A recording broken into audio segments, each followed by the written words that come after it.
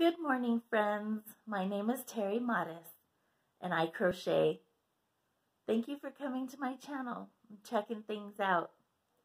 Today I want to share with you that I got some Happy Mail. And what's different about this Happy Mail is it's an email. It says, Hi Terri, this is for when you get ready to make your dolls. Catriona and Catriona bought me this pattern. It's Curvy Girl by Allison Hoffman. And it's it's like um, several patterns in one. You can make so many body types. There's three different body types. There's uh, different clothes. It's it's a 29 page pattern and I'm really excited about it. This is going to teach me how to make little fat bodies. I don't know if you um, remember that one of my goals is to make fat lady dolls and kind of like a self-portrait. Um, eventually I want to get to the point where I can do a self-portrait and make, you know, like, for instance, these ladies here, they have skinny little legs. And eventually my fat lady self-portrait will have chunky thighs and short, short, short legs like mine. Um, I'll eventually design my own doll, but I want to do it very artistically and not not uh,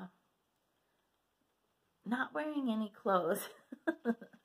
I'm gonna do nude fat lady dolls, but not necessarily flesh colored either. They could be, you know, purple if I want them to be.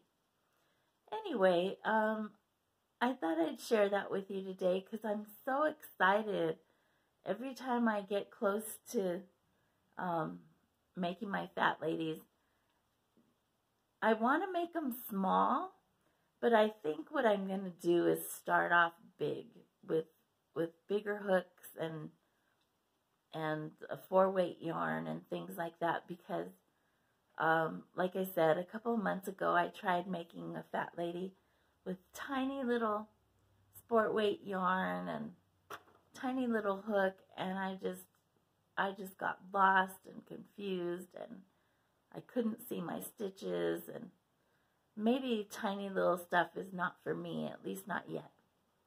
But this pattern calls for a four weight uh, and a, let's see.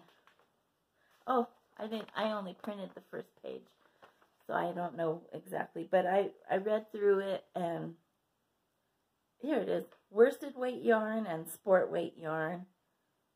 And the sport weight is mostly for the the dress colors, the for what the clothes are, and um, their hair. So I think I can do this pattern, and I'm gonna I'm gonna try. Wish me luck, guys. Anyway, that was my happy mail for today. And I'm so grateful to Catriona for getting me that. Thank you so much. And I'll see you tomorrow. I love you. Bye-bye.